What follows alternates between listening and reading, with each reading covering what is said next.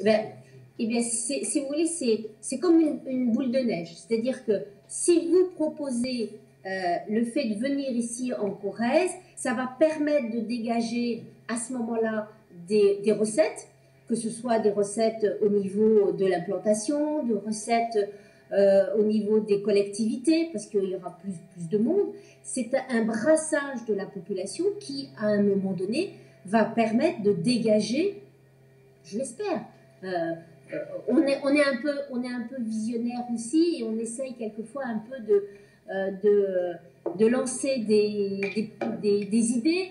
L'impôt sur les sociétés va baisser, puisque c'est ce que le gouvernement met en place. Vous savez, on est passé d'un impôt de 33%, ils veulent passer à 21 ou 22%. Euh, si l'impôt sur ces sociétés baisse, de l'autre côté, vous avez euh, une recette qui va augmenter. L'idée, elle est là. Si la PPL n'était pas retenue, imaginons qu'elle ne soit pas retenue. On peut, nous, travailler sur le territoire à travers les élus, conseil départemental, à travers les brives, euh, à travers la CCI, puisque la CCI a aussi co-signé, pour faire des propositions. Et pour être attractif euh, vis-à-vis de, l'extérieur, on peut aussi faire ça.